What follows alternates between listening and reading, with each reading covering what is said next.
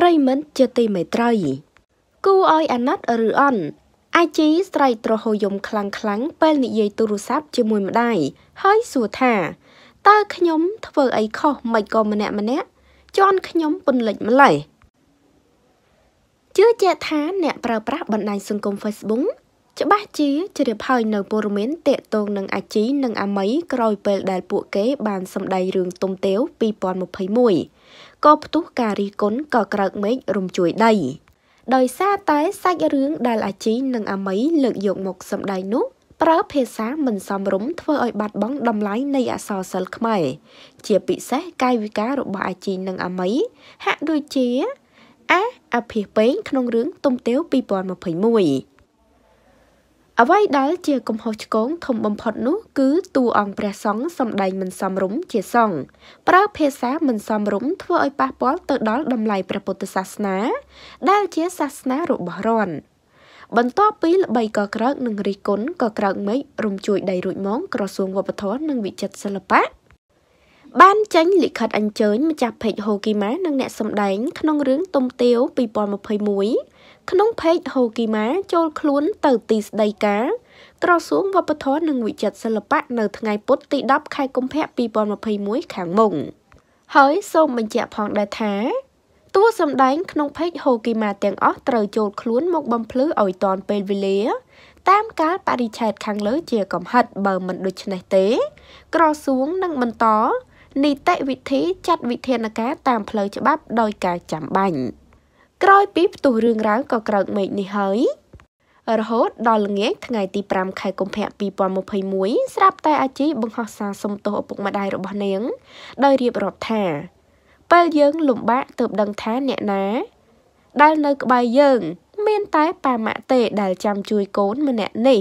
កូនខុសហើយកូនសុំទោសអ្នកទាំងពីរមិនត្រឹមតែប៉ុណ្ណោះល្ងាចមិញនេះ បើក្រឡេកទៅមើល ការ live វីដេអូរបស់អាជីកំពុងតែ live ម្ដាយរបស់នាងក៏ទេមក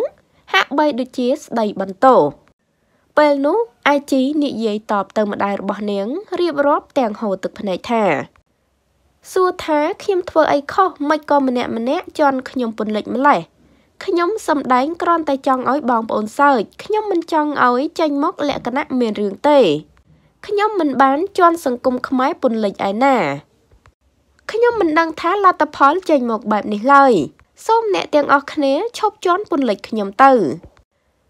ម៉ាក់ហេតុអីមិនយល់ចិត្តកូនបែបនេះដឹងទេថាពេលនេះកូនលំបាកយ៉ាងណា ហើយក៏នៅមានពាក្យពេចន៍ជាច្រើនទៀតប៉ុន្តែវីដេអូការឡាយរបស់នាងត្រូវបានលុបចោលទាំងស្រុងហើយ ដោយនាងមិនបង្ហោះនៅក្នុង page ជាសាធារណៈដូចវីដេអូមុនមុនឡើយ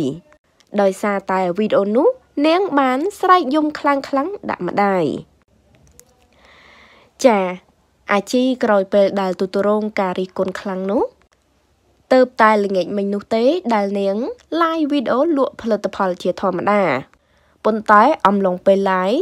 ពិតជាមានមហាជនជាច្រើន ចូល comment រិះគន់ក៏ដូចជាជេរនាងខ្លាំងមែនទែនដែលឃើញ comment ហើយស្ទើរតែទប់អារម្មណ៍មិនបាន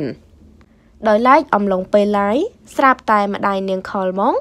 ហាក់បីដូចជាមានពាក្យសម្ដីស្ដីបន្ទោសនាង ស្រាប់តែអាជីនិយាយតបជាមួយម្ដាយស្រែកខ្លាំងខ្លាំងយំតបទៅកាន់ម្ដាយថាតើខ្ញុំខុសអីខ្ញុំគ្រាន់តែសម្ដែងចង់ឲ្យបងប្អូនសើចប៉ុណ្ណោះ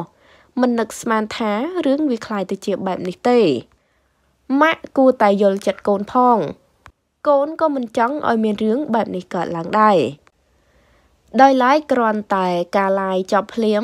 អាជីក៏បានលុបវីដេអូនោះចោលភ្លាមតែម្ដង ដោយមិនបានទុកដូចវីដេអូមុនមុនឡើយដោយសារតែយើងមិនងាយឃើញអាជីយំដល់ថ្នាក់នេះនោះទេ គឺស្រែកត្រហោយំតែម្ដង ដោយសារតែ ខ្លួនកំពុងតែពិបាកចិត្តគេរិះគន់ក៏ខ្លាំងអ្នកជន់ពន្លិចក៏ច្រើនចាហើយតេតងនឹងព័ត៌មាននេះដែរក៏សូមបញ្ចប់តែត្រឹមនេះ សូមចុច Subscribe និងរូបកណ្ដឹងដើម្បីទទួលបានព័ត៌មានថ្មីៗជាបន្តទៀតសូមអរគុណសូមគោរពលា